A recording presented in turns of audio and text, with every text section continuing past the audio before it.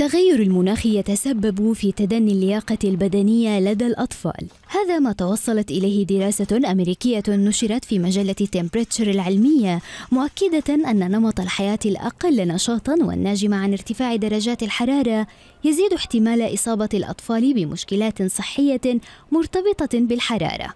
بما في ذلك الجفاف والتشنجات الحرارية والإجهاد الحراري وضربة الشمس. ووفق باحثين فإنه من الضروري أن يتم تشجيع الأطفال على الأنشطة اليومية للحفاظ على لياقتهم البدنية.